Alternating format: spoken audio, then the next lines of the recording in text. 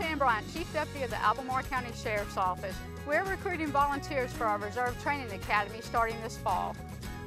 Sheriff's Office of Reserve assists our full-time deputies with courtroom security, civil process, transportation of prisoners, and our community initiatives such as search and rescue, Project Lifesaver, Senior Triad, public fingerprinting, and so much more. For more information or to apply, contact the Sheriff's Office or visit our website. Come join our team.